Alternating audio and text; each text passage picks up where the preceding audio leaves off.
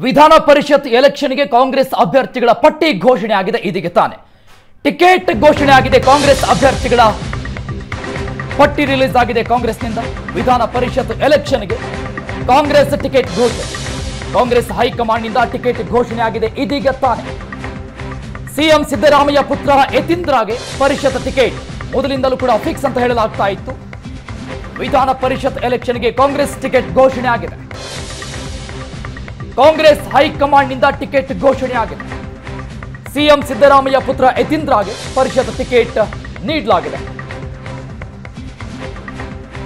CM Siddaramaiah ಪುತ್ರ ಯತೀಂದ್ರಗೆ ಮೊದಲಿಂದಲೂ ಕೂಡ ಪರಿಷತ್ ಟಿಕೆಟ್ ಫಿಕ್ಸ್ ಅಂತ ಹೇಳಲಾಗ್ತಾ ಇತ್ತು. ಆ ಪ್ರಕಾರವಾಗಿ ಯತೀಂದ್ರಗೆ ಟಿಕೆಟ್ ಘೋಷಣೆಯಾಗಿದೆ ಇನ್ನುಳಿದಂತೆ Ramaiah NS Bhosaraju, doctor K Govindaraju Vasanth Kumar Jagadev Guttedar Ivan D'Souza, Ismail ತಮಟಗಾರಗೆ Congress ticket ಪಕ್ಕ ಆಗದಂತಾಗಿದೆ. ಅಭ್ಯರ್ಥಿಗಳ ಹೆಸರನ್ನ ಬಹುತೇಕವಾಗಿ ಕಾಂಗ್ರೆಸ್ ಅಂತಿಮಗೊಳಿಸಿದೆ. ಇನ್ನು ಕೊನೆ ಕ್ಷಣದಲ್ಲಿ ಎಸ್ಸಿ ಮಹಿಳೆಗೆ ಎಂಎಲ್ಸಿ ಸ್ಥಾನ ನೀಡುವ ಚರ್ಚೆ. ವಿಧಾನ ಪರಿಷತ್ ಎಲೆಕ್ಷನ್ಗೆ ಕಾಂಗ್ರೆಸ್ ಟಿಕೆಟ್ ಘೋಷಣೆಯಾಗಿದೆ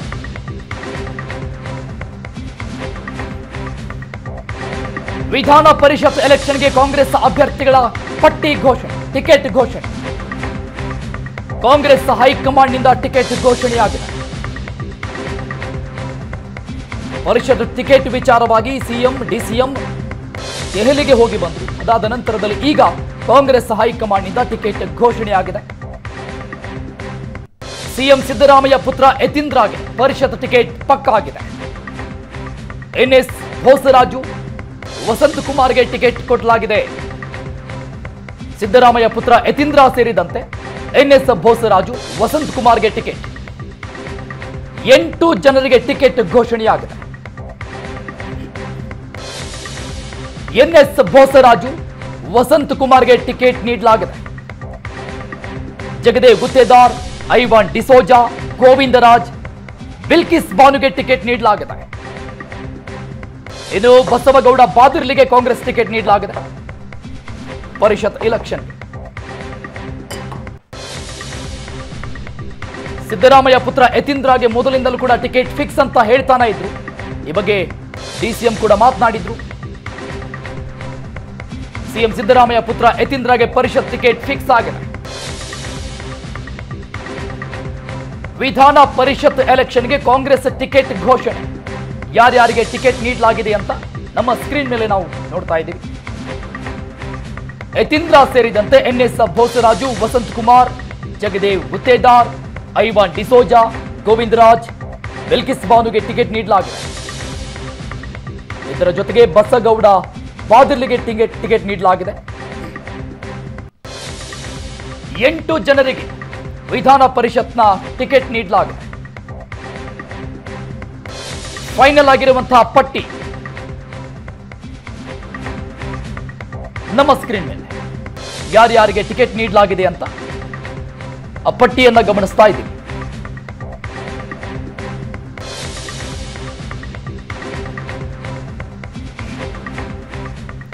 ಬಗ್ಗೆ ಇನ್ನಷ್ಟು ಡೀಟೇಲ್ಸ್ ಕೊಡ್ತಾರೆ ನಮ್ಮ ಪ್ರತಿನಿಧಿ ಮಾರುತೇಶ್ ದೂರವಾಣಿ ಸಂಪರ್ಕದಲ್ಲಿದ್ದಾರೆ. ಮಾರುತೇಶ್, ಯಾರ್ಯಾರಿಗೆ ಟಿಕೆಟ್ ನೀಡಬಹುದು ಅನ್ನುವಂತಹ ಕುತೂಹಲ ಹೆಚ್ಚಾಗಿತ್ತು. ಬಹಳಷ್ಟು ಜನ ಲಾಬಿ ಕೂಡ ಮಾಡ್ತಾ ಇದ್ರು. ಕೊನೆಗೂ ಪಟ್ಟಿ ರಿಲೀಸ್ ಆಗಿದೆ ಮಾರುತೇಶ್. ಏನೆಲ್ಲ ಡೀಟೇಲ್ಸ್ ಇದೆ?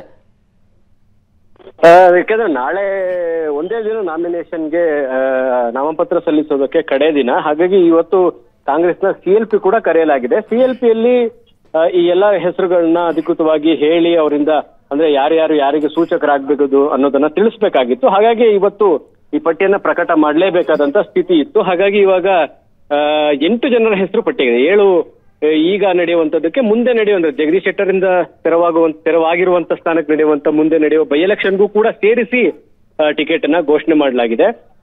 ಬಹಳ ಪ್ರಮುಖವಾಗಿ ಯತೀಂದ್ರ ಅವರ ಆಯ್ಕೆ ಬಗ್ಗೆ ಯಾವುದೇ ಕನ್ಫ್ಯೂಷನ್ಸ್ ಇರಲಿಲ್ಲ. ಅವರಾಗಿ ಹಾಗಾಗಿ ಯತೀಂದ್ರ ಅವರ ಆಯ್ಕೆ ನಿಶ್ಚಿತ ಅಂತ ಹೇಳಲಾಗಿತ್ತು. ಇದನ್ನು ಹೊರತುಪಡಿಸಿ ಕೂಡ ಎನ್ ಎಸ್ ಬೋಸರಾಜು ಮತ್ತೊಮ್ಮೆ ರಿಪೀಟ್ ಆಗಿದ್ದಾರೆ. ಯಾಕಂದ್ರೆ ಪರಿಷತ್ನಲ್ಲಿ ಸಭಾನಾಯಕರಾಗಿದ್ದಾರೆ. ಜೊತೆಗೆ ಆ, ಪರಿಷತ್ನ ಸಚಿವರಾಗಿದ್ದಾರೆ. ಜೊತೆಗೆ ರಾಯಚೂರು ಮತ್ತು ಕಲಬುರಗಿ ಜೊತೆಗೆ ಆಂಧ್ರ ತೆಲಂಗಾಣದಲ್ಲೂ ಕೂಡ ಅವರದ್ದೇ ಆದಂತ ವರ್ಚಸ್ಸನ್ನು ಇಟ್ಕೊಂಡಿರುವಂತಹ ನಾಯಕ. ಜೊತೆಗೆ ಕಳೆದ ಬಾರಿ ಅವರಿಗೆ ಯಾವ್ದು M L A M L C ಅಲ್ಲದೆ ಇದ್ದಾಗ್ಲೂ ಕೂಡ ಅವ್ರನ್ನ ಮಿನಿಸ್ಟರ್ ಮಾಡಿದ್ರು. ಸೊ ಹಾಗಾಗಿ ಬೋಸರಾಜು ಅವರನ್ನ ಮತ್ತೊಮ್ಮೆ ರಿಪೀಟ್ ಮಾಡಲಾಗಿದೆ.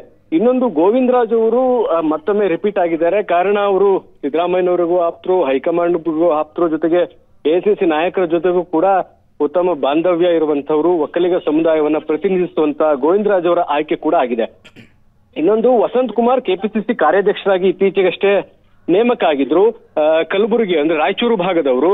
ಖರ್ಗೆ ಅವರಿಗೆ ಅತ್ಯಾಪ್ತರು. ಎಸ್ ಸಿ ಲೆಫ್ಟ್ ಅಂದ್ರೆ ಪರಿಶಿಷ್ಟ ಜಾತಿ, ಎಡ ಸಮುದಾಯಕ್ಕೆ ಬರುವಂತವರು ಅವರನ್ನು ಕೂಡ ಈಗ ಆಯ್ಕೆ ಮಾಡಲಾಗಿದೆ. ಈ ಅಂದ್ರೆ ನಾವು ಮೊದಲು ಸಂಭಾವ್ಯರ ಪಟ್ಟಿ ಮಾಡುವಾಗ್ಲೂ ಕೂಡ ಈ ಹೆಸರುಗಳು ಇರಲಿಲ್ಲ.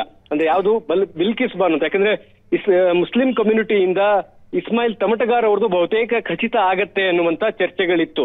ಆದ್ರೆ ಅದು ಆಗದೆ ಎಸ್ ಸಿ ಲೇ ಮುಸ್ಲಿಂ ಲೇಡಿಗೆ ಕೊಟ್ಟಿರ್ತಕ್ಕಂಥದ್ದು ಇಲ್ಲಿ ಒಂದು ಅಚ್ಚರಿಯ ಆಯ್ಕೆ ಅಂದ್ರೆ ತಪ್ಪಾಗ್ಲಿಕ್ಕಿಲ್ಲ. ಬಿಲ್ಕಿಸ್ ಬಾನು ಅವರನ್ನ ಎಂ ಎಲ್ ಸಿ ಆಗಿ ನೇಮಿಸುವಂತದಕ್ಕೆ ಈಗಾಗಲೇ ಟಿಕೆಟ್ ಘೋಷಣೆ ಆಗಿದೆ. ಇದೊಂದು ಅಚ್ಚರಿಯ ಆಯ್ಕೆ ಕಾಣಿಸ್ತಾ ಇದೆ. ಇದನ್ನ ಹೊರತುಪಡಿಸಿದ್ರೆ ಐವಾನ್ ಡಿಸೋಜಾ ಕೂಡ ಹಿಂದೆ ಅವರು ಎಂ ಎಲ್ ಸಿ ಆಗಿದ್ರು.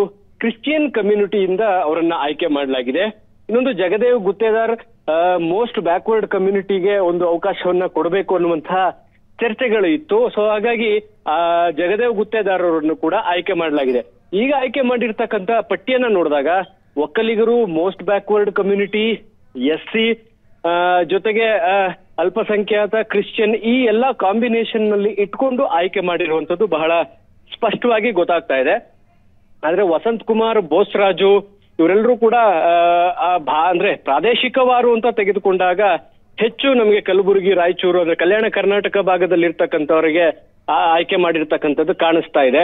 ಅದನ್ನ ಹೊರತುಪಡಿಸಿದ್ರೆ ಜಾತಿ ಲೆಕ್ಕಾಚಾರವನ್ನು ಕೂಡ, ಅಂದ್ರೆ ಯಾಕಂದ್ರೆ ಬೇರೆ ಬೇರೆ ಸಮುದಾಯಗಳನ್ನು ಕೂಡ ಈ ಆಯ್ಕೆ ಮಾಡುವಂತ ಸಂದರ್ಭದಲ್ಲಿ ನೋಡ್ಬೇಕಾಗತ್ತೆ. ಯಾಕಂದ್ರೆ ಕಾಂಗ್ರೆಸ್ಗೆ ನೂರ ಮೂವತ್ತೈದು ಸ್ಥಾನ ವಿಧಾನಸಭೆಯಲ್ಲಿ ಬಂದಾಗ ಎಲ್ಲ ಸಮುದಾಯಗಳು ಒಗ್ಗೂಡಿ ಕಾಂಗ್ರೆಸ್ನ ಪರವಾಗಿ ನಿಂತ್ಕೊಂಡಿದ್ವು. ಹಾಗಾಗಿ ಆ ಸಮುದಾಯಗಳಿಗೆ ನ್ಯಾಯ ಒದಗಿಸುವಂತ ಕೆಲಸವನ್ನು ಕೂಡ ಮಾಡಬೇಕಾಗಿತ್ತು. ಆ ಕಾರಣಕ್ಕಾಗಿ ಮೈಕ್ರೋ ಕಮ್ಯುನಿಟಿ ಅಂದ್ರೆ ಮೋಸ್ಟ್ ಬ್ಯಾಕ್ವರ್ಡ್ ಕಮ್ಯುನಿಟಿಗಳಿಗೂ ಕೂಡ ಕಾಂಗ್ರೆಸ್ ಈಗ ಅವಕಾಶವನ್ನ ಮಾಡಿಕೊಟ್ಟಿದೆ.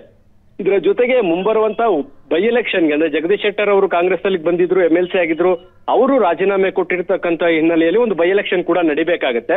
ಸೊ ಆ ಬೈ ಎಲೆಕ್ಷನ್ಗೂ ಅಭ್ಯರ್ಥಿಯನ್ನು ಈಗಲೇ ಅಂದ್ರೆ ಬಸನಗೌಡ ಬಾದರ್ಲಿ ಅವರನ್ನ ಆಯ್ಕೆ ಮಾಡಿ ಎಐಸಿಸಿ ಆದೇಶ ಮಾಡಿದೆ ಅರುಣ್. ಓಕೆ ಮಾರುತೇಶ್ ಒಂದು ದೊಡ್ಡ ಲಿಸ್ಟೇ ಇತ್ತು ಕಾಂಗ್ರೆಸ್ ನಾಯಕರ ಮುಂದೆ ಕೂಡ.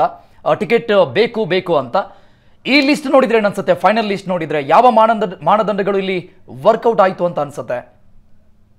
ಅರುಣ್ ಈಗ ಕಾಂಗ್ರೆಸ್ನಲ್ಲಿ ಡಿ ಸಿ ಎಂ ಹೇಳೋ ಹಾಗೆ ಮುನ್ನೂರು ಜನ ಆಕಾಂಕ್ಷಿಗಳಿದ್ರು ಅನ್ನುವಂಥದ್ದನ್ನು ಹೇಳ್ತಾ ಇದ್ರು. ಕೊನೆಗೆ ಅದು ಎಂಬತ್ತಕ್ಕೆ ಬಂತು. ಕೊನೆಗೆ ಮುಖ್ಯಮಂತ್ರಿಗಳು ಉಪಮುಖ್ಯಮಂತ್ರಿಗಳು ದೆಹಲಿಗೆ ಹೋಗುವ ಮುನ್ನ ಒಂದು ಸಭೆ ಮಾಡಿ ಅದನ್ನ ಮೂವತ್ತೆರಡಕ್ಕೆ ಇಳಿಸಿ ತೆಗೆದುಕೊಂಡು ಹೋಗಿದ್ರು. ಸೊ ಅದರಲ್ಲಿ ಮತ್ತೆ ಶಾರ್ಟ್ ಲಿಸ್ಟ್ ಮಾಡಿ ಹದಿನಾಲ್ಕಕ್ಕೆ ಬಂತು. ಅಂತಿಮವಾಗಿ ಹದಿನಾಲ್ಕರ ಪಟ್ಟಿಯಲ್ಲಿ ಎಐಸಿಸಿ ಈಗ ಪ್ರಮುಖವಾಗಿ ಅಂದ್ರೆ ಇವಾಗ ನಡೆಯುವಂತ ಚುನಾವಣೆಗೆ ಏಳನ್ನ ಆಯ್ಕೆ ಮಾಡಿದೆ. ಈ ಬಹಳ ಪ್ರಮುಖವಾಗಿ ಹೊಸ ಫೇಸ್ಗಳಿಗೆ ಅವಕಾಶ ಮಾಡಿಕೊಡಬೇಕು ಅನ್ನುವಂತ ಒತ್ತಾಯಗಳು ಬಹಳ ಕೇಳಿ ಬಂದಿತ್ತು. ಹಾಗೆ ನೋಡಿದ್ರೆ ಅಂತಹ ದೊಡ್ಡ ಬದಲಾವಣೆಯನ್ನು ಈ ಪಟ್ಟಿಯಲ್ಲಿ ಕಾಣ್ತಾ ಇಲ್ಲ. ಒಂದು ಮುಸ್ಲಿಂ ಸಮುದಾಯದ ಮಹಿಳೆಗೆ ಕೊಟ್ಟಿರುವಂತ ಒಂದು ಹೊಸ ಫೇಸ್ ಅಂತ ಅನ್ಸಿದ್ರೆ, ಅಂದ್ರೆ ರಿಪೀಟ್ ಆಗ್ದಲೇ ಇರುವಂತದ್ದು ಮತ್ತು ಎಸ್ ಸಿ ಮುಸ್ಲಿಂಗೆ ಮಹಿಳೆಗೆ ಅವಕಾಶ ಮಾಡಿ ಕೊಟ್ಟಿರ್ತಕ್ಕಂಥದ್ದು, ಇದು ಒಂದು ಒಪ್ಪಬಹುದಾದ ಆಯ್ಕೆ ಅನ್ನುವಂಥದ್ದು ಕಾಂಗ್ರೆಸ್ನಲ್ಲಿರುವಂತಹ ಕಾರ್ಯಕರ್ತರಿಗೆ, ನಾಯಕರಿಗೆ ಅನ್ಸುತ್ತೆ. ಆದ್ರೆ ಬೋಸರಾಜು ಮತ್ತೊಮ್ಮೆ ಪುನರ್ ಆಯ್ಕೆ ಆಗಿದ್ದಾರೆ. ಅವರಿಗೆ ಒಂದು ವರ್ಷದ ತನಕ ಮಾತ್ರ ಸಚಿವರಾಗುವ ಟೈಮಿಗೆ ಎಂ ಎಲ್ ಸಿ ನೇಮಿಸಿದ್ರು. ಈ ಹಿಂದೆ ಅವರು, ಅಂದ್ರೆ ರಾಯಚೂರಿನಲ್ಲಿ ಅವರು ಸ್ಪ, ಟಿಕೆಟ್ಗಾಗಿ ವಿಧಾನಸಭೆ ಚುನಾವಣೆ ಸಂದರ್ಭದಲ್ಲಿ ಟಿಕೆಟ್ ಬಯಸಿದ್ರು. ರಾಹುಲ್ ಗಾಂಧಿ ನೇತೃತ್ವದಲ್ಲಿ ಅವ್ರನ್ನ ಕನ್ವಿನ್ಸ್ ಮಾಡುವಂತ ಪ್ರಯತ್ನಗಳಾಗಿತ್ತು. ಹಾಗಾಗಿ ಅವ್ರಿಗೆ ಟಿಕೆಟ್ ಸಿಕ್ಕಿರಲಿಲ್ಲ. ಆಗ್ಲೇ ರಾಹುಲ್ ಪ್ರಾಮಿಸ್ ಮಾಡಿದ್ರು ಅನ್ನೋ ಕಾರಣಕ್ಕಾಗಿ ಒನ್ ಟರ್ಮ್ ಆಯ್ಕೆ ಮಾಡಿದ್ರು. ಆದ್ರೀಗ ಮತ್ತೊಮ್ಮೆ ಅವರನ್ನ ಆಯ್ಕೆ ಮಾಡಿರ್ತಕ್ಕಂಥದ್ದು ಸಹಜವಾಗಿ ಆ ಭಾಗದ ನಾಯಕರಲ್ಲ ಅಸಮಾಧಾನ ಇರುತ್ತೆ. ಯಾಕಂದ್ರೆ ಬೋಸರಾಜ್ ಅವ್ರನ್ನ ಕ್ಯಾಬಿನೆಟ್ಗೆ ತಗೊಳ್ಕೊ, ತೆಗೆದುಕೊಳ್ಬಾರ್ದು ಅಂತೇಳಿ ಹಿಂದೆ ನಾವು ರಾಜೀನಾಮೆ ಕೂಡ ಕೊಡ್ತೀವಿ ಅಂತೇಳಿ ಶಾಸಕರು ಎಐಸಿಸಿಗೆ ಪತ್ರ ಬರೆದಿದ್ರು. ಆದ್ರೆ ಎಐಸಿಸಿ ಅದನ್ನ ಯಾವುದೇ ಕಾರಣಕ್ಕೂ ಸೊಪ್ಪು ಹಾಕುವಂತ ಕೆಲಸವನ್ನ ಮಾಡದೆ ಬೋಸರಾಜುಗೆ ಅವಕಾಶ ಮಾಡಿಕೊಟ್ಟಿತ್ತು. ಇನ್ನೊಂದು ಗೋವಿಂದರಾಜ್ ಅವ್ರಿಗೆ ಪದೇ ಪದೇ ಅವಕಾಶಗಳು ಸಿಗ್ತಾ ಇದೆ. ಸೊ ಇದು ಯಾಕೆ ಅನ್ನುವಂಥದ್ದು ಸಹಜವಾಗಿ ಕಾಂಗ್ರೆಸ್ನ ಒಳಗೆ ಅಸಮಾಧಾನ ಅಂತೂ ಇದ್ದೇ ಇದೆ. ಯಾಕಂದ್ರೆ ಈಗಾಗಲೇ ಅವರು ಸಿಎಂ ಕಾರ್ಯದರ್ಶಿಯಾಗಿ, ಅಂದ್ರೆ ರಾಜಕೀಯ ಕಾರ್ಯದರ್ಶಿಯಾಗಿ ನೇಮಿಸಲಾಗಿದೆ. ಈಗ ಎಂ ಎಲ್ ಸಿ ಕೂಡ ಮಾಡಲಾಗಿದೆ. ಈ ಹಿಂದೆ ಕೂಡ ಅವ್ರನ್ನೇ ಆಯ್ಕೆ ಮಾಡಿದ್ರು. ಇದು ಮೂರನೇ ಟರ್ಮ್ ಅನ್ಸುತ್ತೆ ಬಹುಶಃ ಅವರ ಆಯ್ಕೆ. ಹಾಗಾಗಿ ಈ ಪದೇ ಪದೇ ಆಯ್ಕೆ ಬೇಡ ಅನ್ನುವಂತ ಒತ್ತಡಗಳು ಜಾಸ್ತಿ ಇತ್ತು. ಆದಾಗ್ಯೂ ಗೋವಿಂದರಾಜ್ ಅವರ ಆಯ್ಕೆ ಆಗಿದೆ. ಅದಕ್ಕಾದ್ರೆ ಆದ ಕಾರಣಗಳಿರ್ಬೋದು. ಎಐಸಿಸಿ ಮಟ್ಟದಲ್ಲಿ ಅವರಿರ್ತಕ್ಕಂಥ ವರ್ಚಸ್ ಇರ್ಬೋದು. ನಾಯಕರ ಜೊತೆ ಇರುವಂತ ಸಂಪರ್ಕ ಇರ್ಬೋದು. ಇದೆಲ್ಲ ಕಾರಣಕ್ಕಾಗಿ ಗೋವಿಂದರಾಜ್ ಅವರ ಆಯ್ಕೆ ನಡೆದಿರ್ಬೋದು. ಸಹಜವಾಗಿ ಗೋವಿಂದರಾಜು ಆಯ್ಕೆ ಇರ್ಬೋದು, ಬೋಸರಾಜು ಆಯ್ಕೆ ಇರ್ಬೋದು ಐವನ್ ಡಿಸೋಜ್ ಅವರ ಆಯ್ಕೆ ಇರ್ಬೋದು. ಆ ಕಮ್ಯುನಿಟಿಯಲ್ಲಿ ಬೇರೆ ಬೇರೆಯವ್ರಿಗೂ ಅವಕಾಶ ಕೊಡ್ಬೋದು. ಯಾಕಂದ್ರೆ ಐವನ್ ಡಿಸೋಸ್ ಹಿಂದೆ ಕೂಡ ಎಂ ಎಲ್ ಸಿ ಆಗಿದ್ದಂಥವ್ರು ಸೊ ಹಾಗಾಗಿ ಬೇರೆಯವ್ರಿಗೆ ಅವಕಾಶ ಸಿಗಬೇಕಾಗಿತ್ತು ಅನ್ನುವಂಥ ಚರ್ಚೆಗಳಿತ್ತು. ಆ ಲೆಕ್ಕಾಚಾರದಲ್ಲಿ ನೋಡಿದ್ರೆ ರಿಪೀಟ್ ಆಗಿರ್ತಕ್ಕಂಥದ್ದು ಕೂಡ ಕಾಣ್ತಾ ಇದೆ. ಹಾಗಂತ ಬೇ, ಎಲ್ಲವೂ ಹಾಗೆ ಆಗಿದೆ ಅಂತ ಇಲ್ಲ. ಮುಸ್ಲಿಂ ಕಮ್ಯುನಿಟಿಯಿಂದ ಮಹಿಳೆಗೆ ಆಯ್ಕೆ ಮಾಡಿರುವಂತದ್ದು ಒಳ್ಳೆಯ ಬೆಳವಣಿಗೆ. ಇನ್ನೊಂದು, Vasanth Kumar S C left representation ಒಂದು ಬೇಕಿತ್ತು ಅನ್ನುವ ಕಾರಣಕ್ಕಾಗಿ ಅವರಿಗೆ ಅವಕಾಶ ಮಾಡಿಕೊಟ್ಟಿದ್ದಾರೆ. ಅವ್ರದ್ದು ಫಸ್ಟ್ ಟೈಮ್ ಅಂದ್ರೆ ಹೊಸ ಮುಖ ಪರಿಷತ್ಗೆ ಸೊ ಈ ತರದ ಆಯ್ಕೆ ಕೂಡ ಇರೋದ್ರಿಂದ. ಎರಡು ಬ್ಯಾಲೆನ್ಸಿವ್ ಆಗಿದೆ. ಆದ್ರೆ ರಿಪೀಟ್ ಆಗಿರ್ತಕ್ಕಂಥದ್ರ ಬಗ್ಗೆ ಸಹಜವಾಗಿ ಆಕ್ಷೇಪಗಳಿದೆ. ಯಾಕಂದ್ರೆ ಆಯ್ಕೆ ಮಾಡುವಾಗ್ಲೂ ಕೂಡ ಹೊಸ ಫೇಸ್ ಫೇಸ್ಗೆ ಹೆಚ್ಚು ಹೆಚ್ಚು ಅವಕಾಶ ಮಾಡಿಕೊಡಿ ಅಂತ ಹೇಳ್ತಾ ಇದ್ರು. ಅದ್ರ ಜೊತೆಗೆ ಸಂಘಟನೆಯಲ್ಲಿರುವಂತ ಪಕ್ಷ ಸಂಘಟನೆಯಲ್ಲಿರುವಂತ ಕಾರ್ಯಕರ್ತರಿಗೆ ಹೆಚ್ಚು ಒತ್ತು ಕೊಡಿ ಅನ್ನುವಂತ ಚರ್ಚೆಗಳಿತ್ತು. ಹಾಗೆ ನೋಡಿದ್ರೆ ವಸಂತ್ ಕುಮಾರ್ ಅನ್ನು ಹೊರತುಪಡಿಸಿದ್ರೆ ಸಂಘಟನೆಯಿಂದ ಕಾರ್ಯಕರ್ತರಿಗೆ ಕೊಟ್ಟಿರ್ತಕ್ಕಂಥದ್ದು ಬಹಳ ಕಡಿಮೆ ಅನ್ಸುತ್ತೆ ಅವರು thank you thank you Maruthesh ಎಲ್ಲ ಡೀಟೇಲ್ಸ್ಗೆ